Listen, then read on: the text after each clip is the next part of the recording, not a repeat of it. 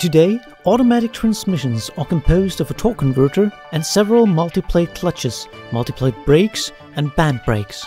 Furthermore, a Ravigneaux planetary gear set is used to provide more forward gear ratios than a simple planetary gear set.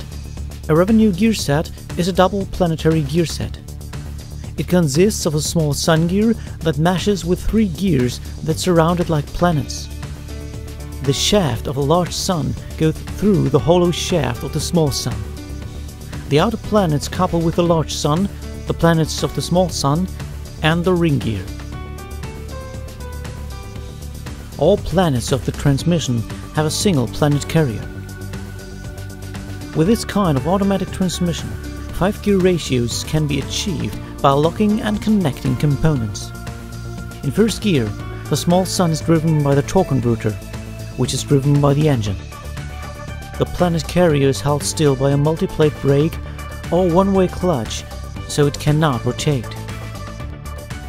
The ring gear is connected to the output and drives the wheels of the car. In second gear, the planet carrier is no longer a fixed member of the system. Now it can rotate freely.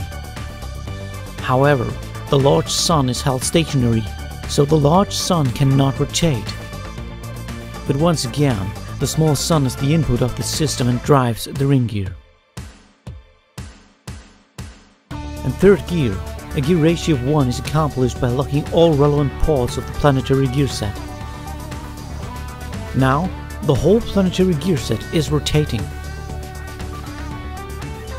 In fourth gear, the planet carrier is the input.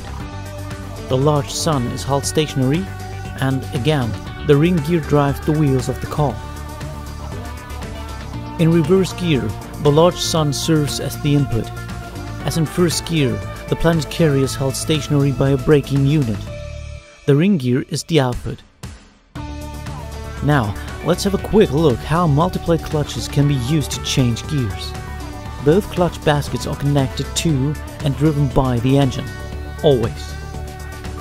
When one of the multiplate clutches is engaged, the mechanical energy produced by the engine is transmitted to the corresponding gear.